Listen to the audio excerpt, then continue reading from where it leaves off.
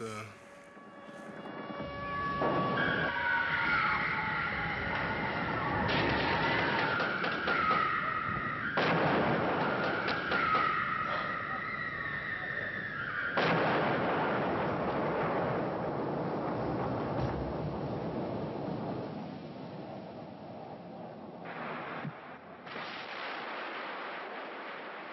Der var sådan en stor eksplosion, ikke? Der var flere mennesker i lejligheden. Vi var på 5. sal. De gik sådan lidt i panik, så gav de mig sådan noget vand med sukker i, som var til formål af berolige. Det, de gjorde, det kroatiske militær, det var, at de gennemsøgte vores lejlighed og spurgte mig, om, om jeg vidste, om min far havde våben. Og det svarede jeg selvfølgelig nej til. Jeg kunne se alvoren i det, men som barn flyder jo fantasien med virkeligheden, ikke?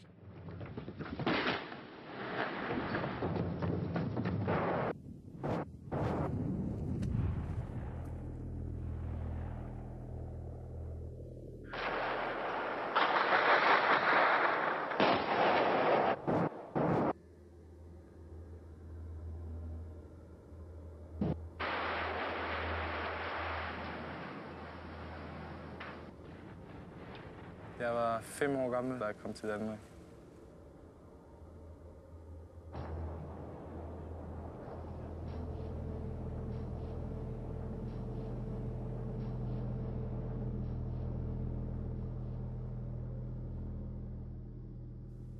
Det findes stadigvæk inde i mig.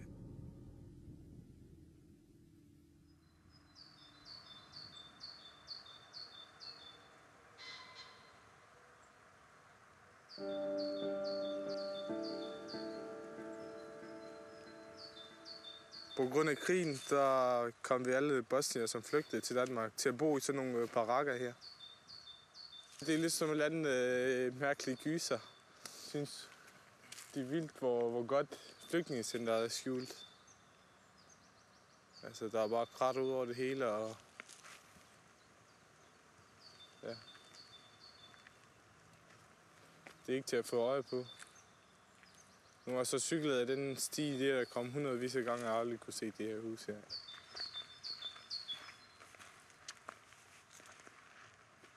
Det var kedeligt.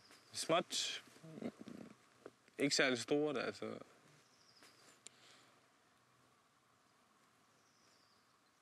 Der var ikke, det er ikke, det var kun et rum, hvor man boede i, og det var det, ikke? Og så havde man så det der fælles køkken og bad og så videre, ikke?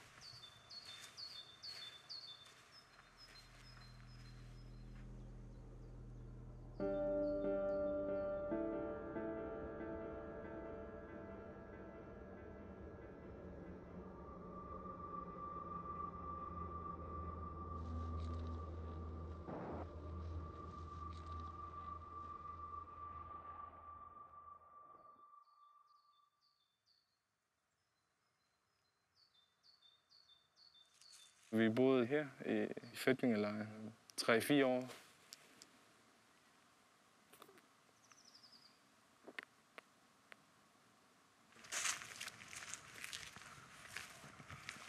Der skete ikke så meget. Folk man sige, levede bare. Altså. Men altså, jeg tror, det var sådan frustrerende for folk. Ikke? Øh, der var også vel mange, mange af de, af dem, der boede også, havde mistet øh, mange flere familiemedlemmer. Krig er ikke til at blive klog på.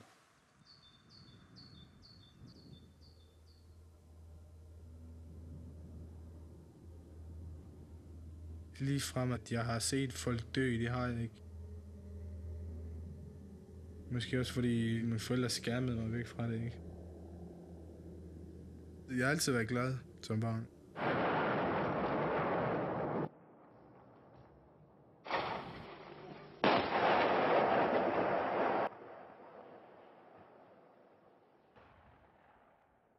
De kom bare lige pludselig, ikke?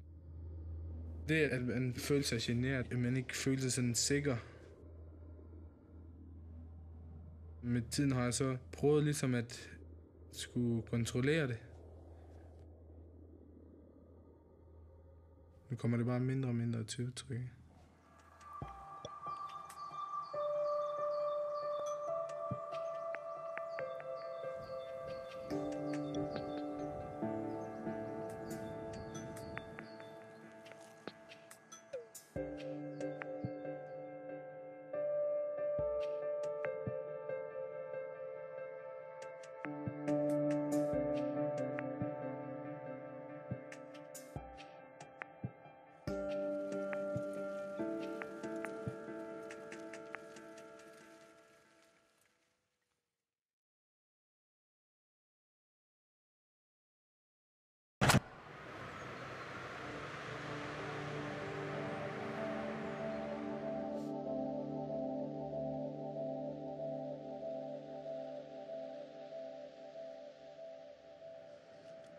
Hver gang jeg hører om Mostard, så tænker jeg på to ting. Jeg tænker på, hvor dejligt jeg har det dernede, at være sammen med mine venner og min familie.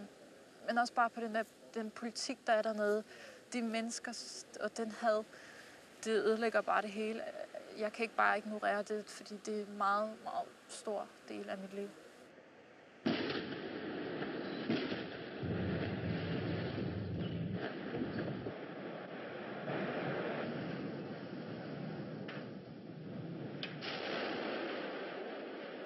Broen i Mostar den blev sprængt i luften fire gange af den kroatiske her. Og det førte så til, at byen den blev adskilt mellem kroaterne og muslimerne. Det er så en splittelse, som aldrig før har været der i byen.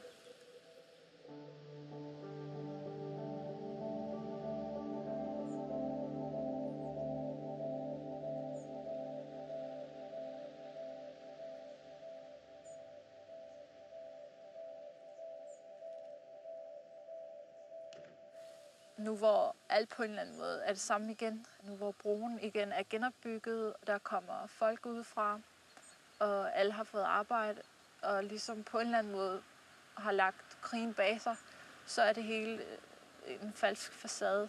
Fordi folk, de, de holder stadig den der af over bitterhed og had stadig i sig, og de vil aldrig glemme, hvad der er sket.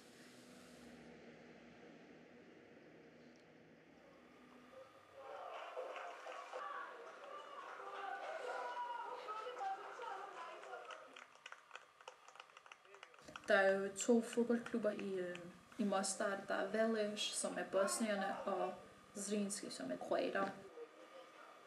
De slås ligesom i krigen. Øh, fodboldspillerne de forestiller krigerne, de forestiller soldaterne. I det hele taget, det handler overhovedet ikke om fodbold, men det handler om magt og om at eje og få sit eget tilbage, og, eller at få noget nyt.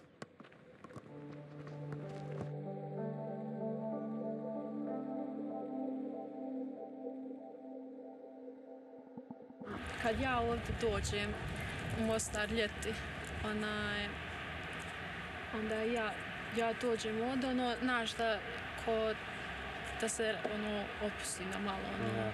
A kad dođem ovdje ne opustim se, ona, baš sam po stresu, Da. jer se uvijek bojim da mi neko rođaka ubije ili da, A rodak se zove šta da. ono, da mi neko rođaka ili nešto, ne znam, ili da prijatelj mi onaj zamalo ruku i izgubio. Zašto se ne možete vi družiti? Ne, smiješno pitanje, nešto ja znam. Pa eto, on se zove, jer mi smo zazinski, šta se imamo družiti? Ali kako može tako sport kvariti ljudi? Kako kvari, po čemu kvari? Pa svađate se, bijete se. A to, samo neke neke moving, eto. Da se nešto događa u gradu. существовал момент